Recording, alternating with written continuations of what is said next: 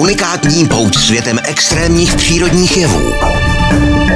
A zločiny, k jejichž objasnění přispěly jasnovidecké schopnosti. Rozsuřená planeta a paranormální kriminalisté. Ve čtvrtek večer na CS Mystery.